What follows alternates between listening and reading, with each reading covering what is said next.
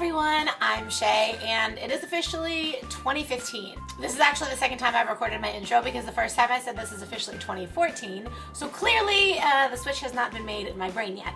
But anyway, it's a new year, I have a whole new set of videos that I'm really excited to be releasing. I wanted to start out for my first video of 2015 answering a bunch of questions that I've gotten lately on Instagram and Facebook and social media. So I posted this pic on Instagram yesterday and I got so many questions about the makeup look, about kind of makeup in general. So those are the questions we're gonna tackle today. And if you have any other questions that you want me to answer or any like tips or suggestions that you want, um, post them in the comments below and I will try and answer them in my next video. The first question was from Britt Ross, and she asked what kind of skincare routine I use.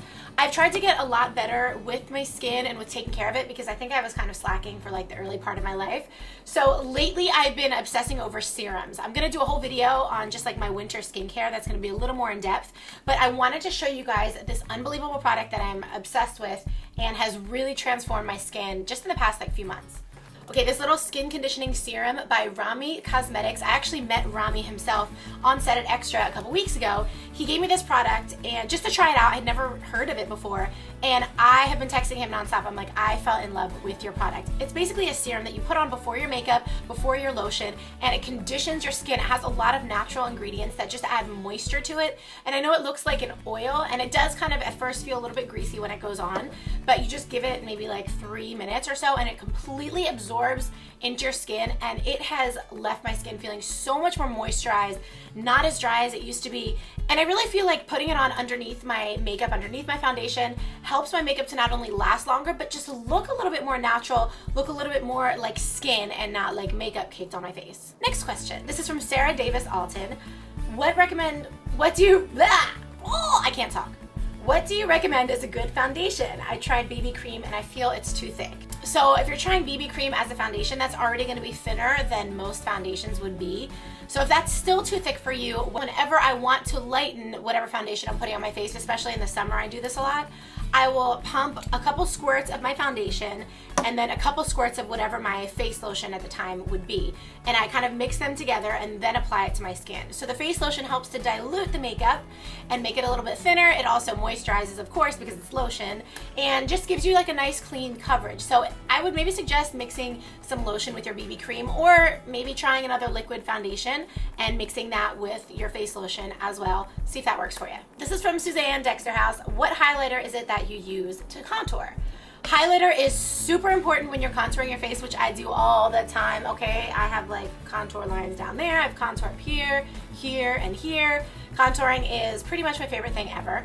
So when you're doing that, you always want a highlighter to highlight um, the places that you want the light to hit and kind of brighten. This is my favorite highlighter that I've ever used. I think I bought this maybe like three years ago, so this little thing has lasted me a long time. That's why it's a little ratchet looking and uh, old and like whatever. But this is by Mary Lou Manizer, aka The Luminizer and it's because it's old it has all broken up inside but I refuse to throw it away because this is really good highlighter stuff in here. So I'm not gonna waste it. I'm not gonna be wasteful. And I apply it with a little fan brush just like this. I dip it in the highlighter and I just kind of lightly dab it right there. And then above my eyebrows right here and then down my nose I love it because it's shimmery, but it's not glittery. There's a big difference between glitter and shimmer. I don't know about you, but I don't want no glitter flakes on my cheeks. That is not cute. It looks like messy. But I do want a nice shimmer and glow. So this is what you need. You can buy it on Amazon. It'll ship to you in like a couple days and you will be nice and highlighted and glowy and dewy and you will thank me. Okay, this one's from Christy Scott. Do you recommend a good under eye concealer? So under eye concealers are like, that's like one thing I have been in the search of for pretty much forever because it's such an important tool to have in your makeup bag. It's such an important it's like a basic that every girl needs is a good under eye concealer.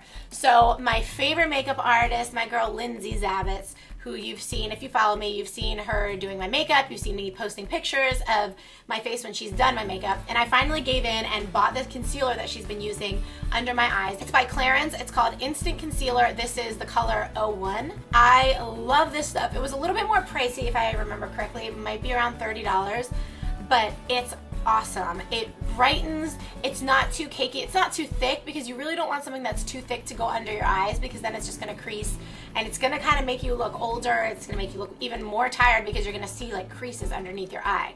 So this stuff is great. I just dab a tiny amount on my hand and then use my finger to apply it just under my eye and smooth it in. And then I always set it with this Revlon Photo Ready powder. It's a white setting powder and it just kind of helps to set it in place and really like lock in the concealer, make it all smooth and it doesn't crease that way, which is also a plus.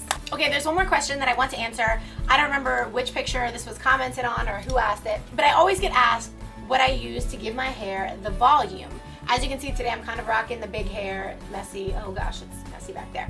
But anyway, today I'm rocking the big hair and it is thanks to this product, which I think it's actually fairly new. It's a Style Sexy Hair texturizing spray clay. Works similar to a dry shampoo in that it adds texture, but something about this like clay, whatever it is, I don't know what it is, really holds the volume and the bigness. Sometimes I feel like with dry shampoos or with like things that I use to try and texturize my hair and give volume, I'll spray it in and then it'll look great for like five minutes and then like 10 minutes later it's back to being flat and I'm like what the heck? I just put a whole ton of product in it. But this spray clay stuff is amazing. You literally just kind of hold your hair out and spray it like that. You can already look at that. You can even see what it just did.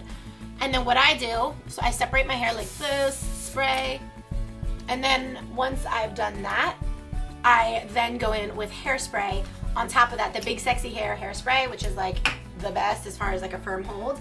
And I do that, and then it just keeps it big and fluffy and poofy, and I love it. So yeah, if you haven't tried this texturizing spray clay, you need to. All right, so that wraps it up for today. I wanted to keep it kind of short, but I really want to do more of these videos, answer your questions, and share some of my beauty tips and tricks because that's what I love to do. So comment below, let me know. Don't forget to subscribe to my channel. Please subscribe so you can be the first to know when I put out new videos. So thank you so much for watching, guys. I love you. Mwah.